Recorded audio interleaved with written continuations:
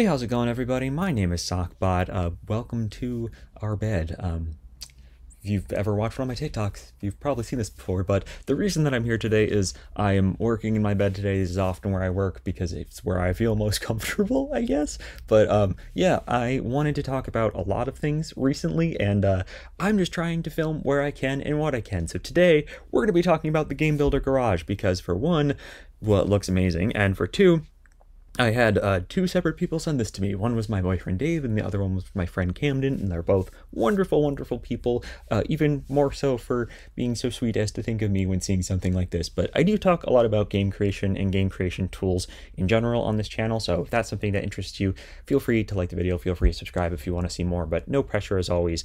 Um, and if you haven't seen this specific trailer yet, um, I first saw it on the Nintendo channel. I'm not sure if that's where everybody else is seeing it, but it does look really, really cool. It looks a lot like Little Big Planet, and uh, well, yeah, that's that's why I'm here talking about it.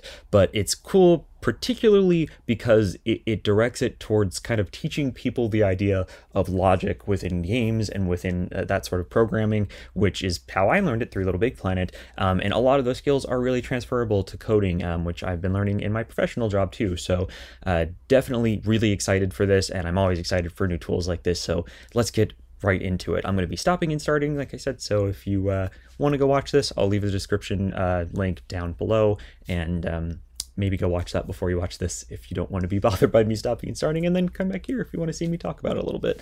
But let's get into it. I'm starting now. Um, again, yes, this is very janky setup, I know that.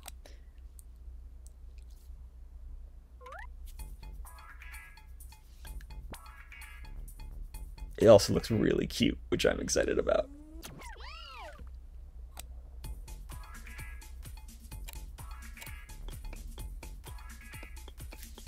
Okay, first pause, and I'm only going to pause a few times. I gotta say, my first reaction to this was, wow, it looks a lot like Little Big Planet, but also it, it just kind of looks like uh, generic non-texture video gaming, so I guess that's not surprising.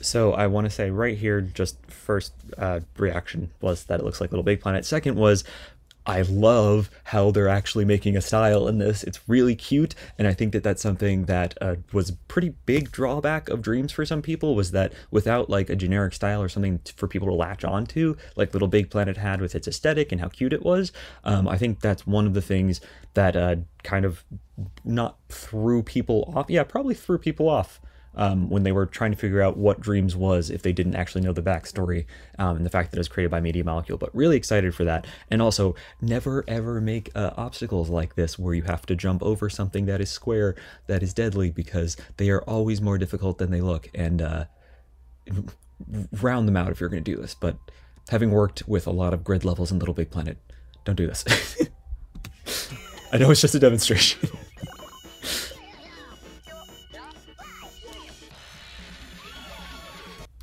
Also, one more quick thing. Uh, there's constant there.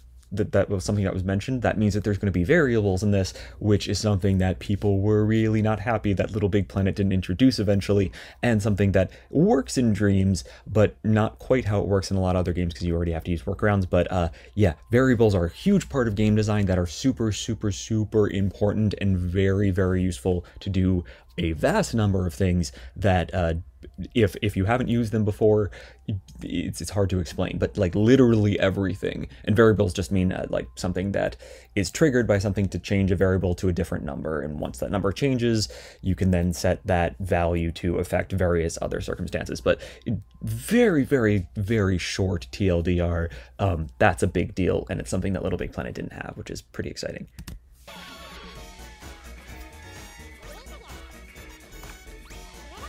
Tutorials, yes.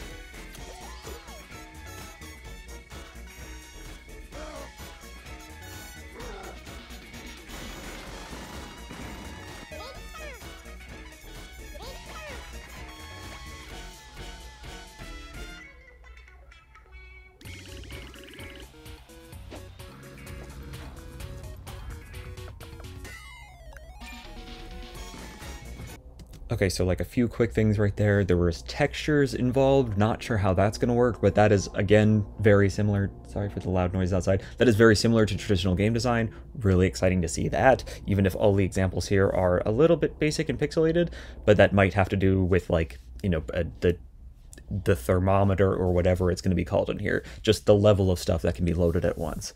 Um, so it's not super surprising that that's a thing. But honestly, I kind of like that aesthetic. Is that weird?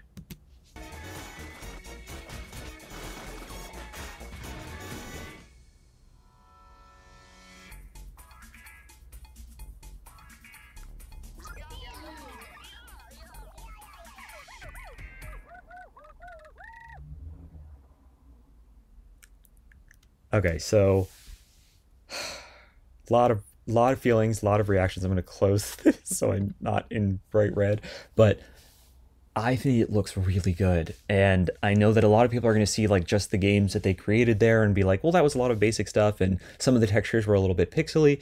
And that's fine if those are your reactions. You could have whatever reactions you want.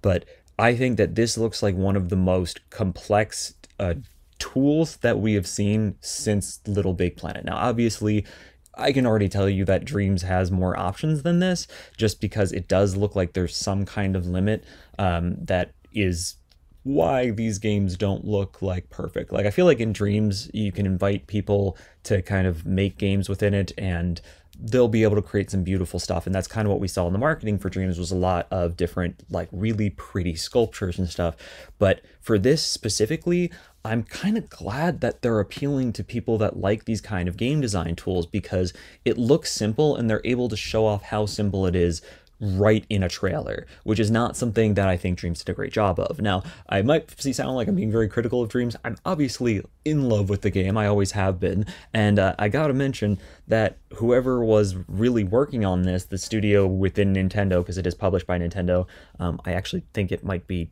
made by Nintendo, but it has a big company behind it, but it also doesn't have a huge collection of creators uh, from like it, when in Little Big Planet, they would release the beta and had a bunch of people create stuff in the beta, and then Little Big Planet 2, 3, and Dreams all had a lot of marketing material around people that were from the community or people within Media Molecule who were used to using tools like this. And I think that's one of the reasons why this looks maybe a little bit basic. And also one of the reasons why I really hope that there's going to be like a story mode trailer with a story mode because that's so important. And we know that because, like I said, it needs to have personality, which it's got. It's got amazing personality. But if they have story mode too, that'll draw people in who aren't necessarily just getting it for the creation aspect, which is really cool. And I think that's almost so. There's there's one more part to this um, that I kind of thought of last night after I watched this for the first time, and that has to do with like sharing. And I think that we can say pretty much for sure that you're going to be able to share your creations. It would be ridiculous if you couldn't. Although I guess if any company would do something silly like that, it would be Nintendo. But if they were able to do it for Super Mario Maker, I cannot imagine you wouldn't be able to share your creations. That would kind of ruin the whole point of this, and definitely bring it down a bunch of notches in my book.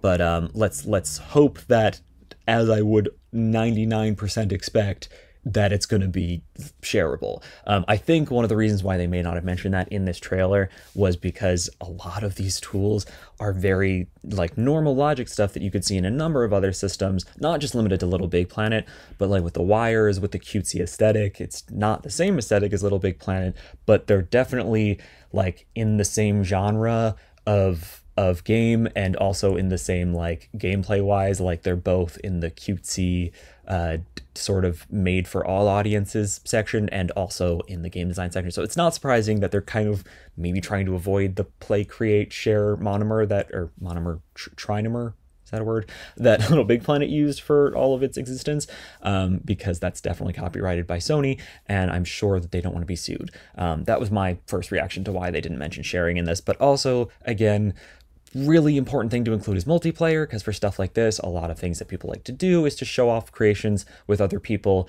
And something that works really well for creations that are largely community created that are don't have the same level of polish as say a AAA game or a game that was made by an indie dev and then published by Nintendo um, a good part of that is being able to enjoy it with other people and kind of revel in the coolness of it, not just as a game, like the games that people create are cool in general by themselves, but also just the amazing ability for people to create stuff like this on a Nintendo Switch. It's always baffling. It's always really cool. It's like when you when you find like people making really cool stuff in Microsoft Paint or like in one of the the reason that all of those drawing apps that you see on iPad will show off these crazy drawings that artists have done using their tools because it's always really impressive to see that.